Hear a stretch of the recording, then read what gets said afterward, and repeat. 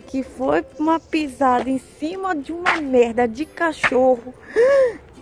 Moleque, o que é isso? Que merda foi essa aqui no meu sapato?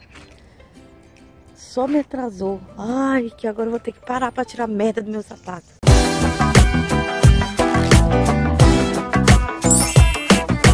Bom dia, meus amigos! Pois é, pessoal, tô no quarto dia de jejum intermitente, estou saindo do trabalho agora.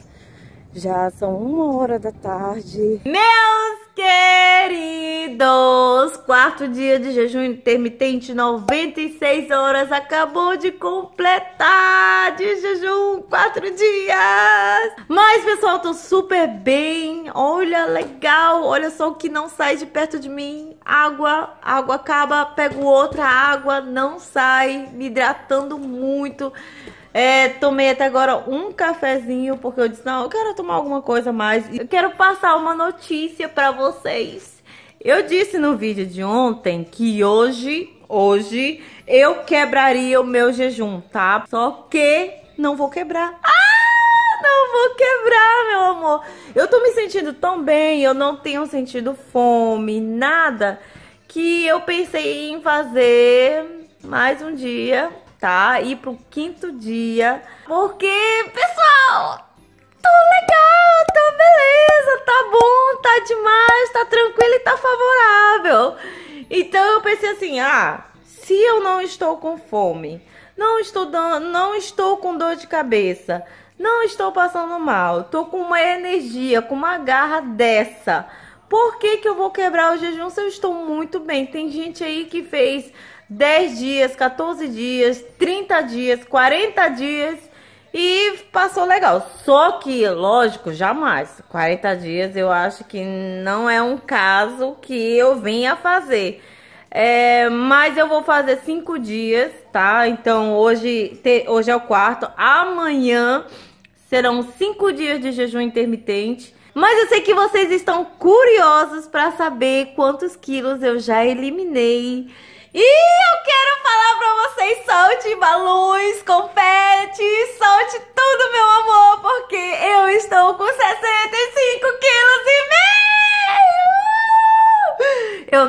aguentei. A Bololô, que me segue, falou o seguinte, ah, tô curiosa pra saber quantos quilos tu, tu está. Aí eu disse, ah, por que, que eu não vou me pesar, né? Aí eu peguei, fui agora de tarde, eu me pesei. Então é bom pesar pela manhã, que é o peso ideal. E eu pesei agora pela tarde. Eu estou com 65 quilos e meio. Gente, 65 quilos! Pra quem estava com quê? Quando começou essa jornada antes do HCG, eu estava com 75. Já eliminei 10 quilos, coração! 10 quilos! Eu sei que não dá pra ver muita coisa nessa cara aqui de foca.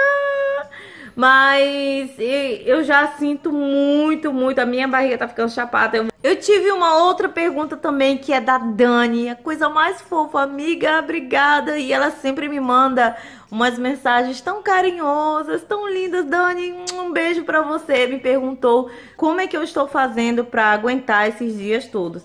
Primeiro, Dani, eu trabalhei muito a minha mente. Eu primeiro comecei aí na dieta do leite e eu terminei a dieta do leite e comecei o jejum.